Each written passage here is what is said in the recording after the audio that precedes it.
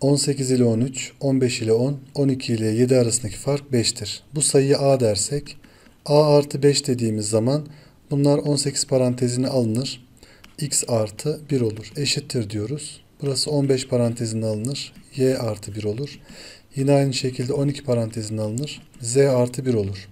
Çıkan sayı da burada 18, 15 ve 12'nin en küçük ortak katıdır en az olması için. Buradan 180 çıkar. 180 diyecek olursak 18'e böldüğümüzde x artı 1 10'dur. Burası o zaman 12 yapar. Burası da 15 yapacaktır. Toplarsak bunları 15, 12 daha 27, 37. E, birleri çıkartırız. 3 çıktığı zaman 34 olur. Doğru cevap D'dir.